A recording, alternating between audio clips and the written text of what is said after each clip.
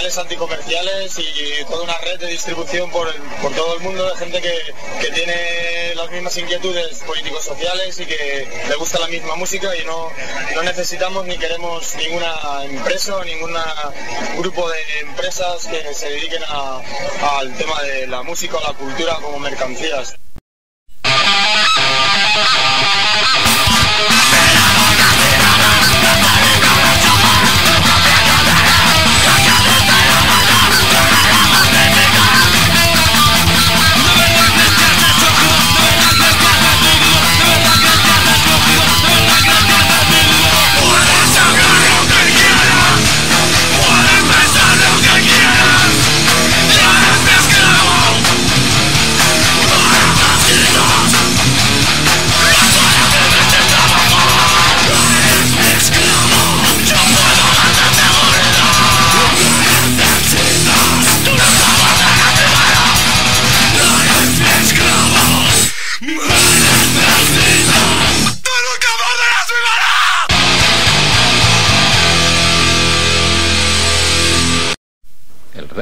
Iraquí tiene armas de destrucción masiva.